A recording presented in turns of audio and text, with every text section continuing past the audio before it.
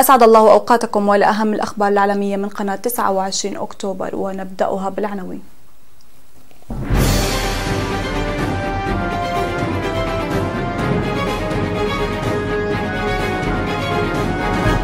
حلف شمال الأطلسي يستعد لتوقيع بروتوكول انضمام السويد وفنلندا إلى الحلف.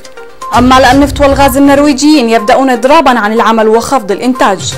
إسبانيا تضبط غواصات مسيرة لتهريب المخدرات من المغرب. ومئات ضباط الشرطة وعمليات واسعة النطاق في دول أوروبية منها ألمانيا وبريطانيا وهولندا ضد مهربي البشر.